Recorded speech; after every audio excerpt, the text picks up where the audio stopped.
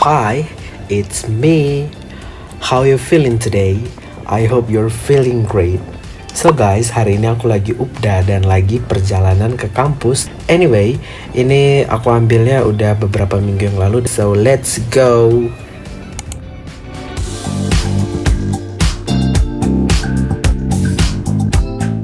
Sebenarnya ini aku keliling dulu buat nyari gedung CDAL karena aku naik ojol ya tadi berhenti di gerbang utama dan ternyata gedung ujiannya jauh juga dari gerbang utama.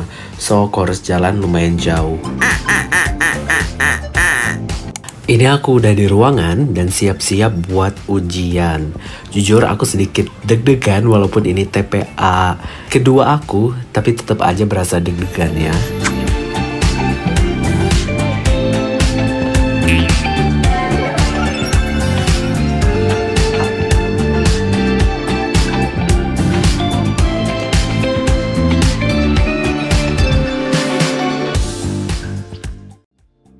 Ini bagian subtes yang akan diujikan.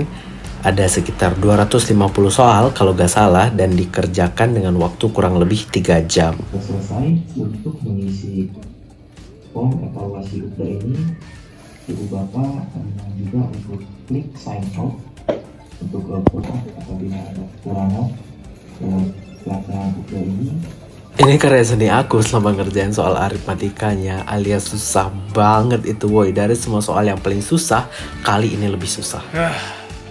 Jadinya dari banyak soal yang aku gak tahu jawabannya, aku isi A semua. Jangan ditiru. Sekarang waktunya buat jalan-jalan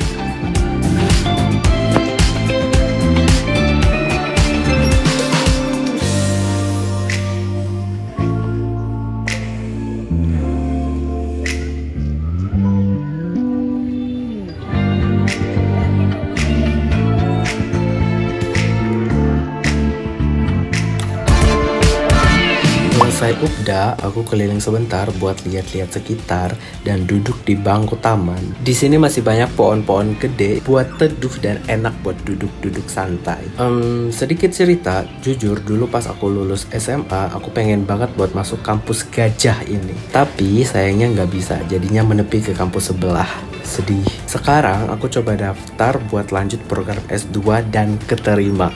Seneng banget akhirnya keinginan dulu pas remaja kesampaian juga.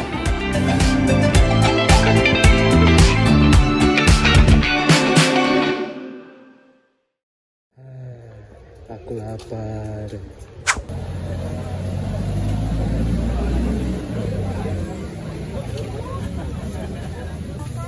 Bapak, tadi satu ya. Lupanya udah? Apa ya? Lupanya udah?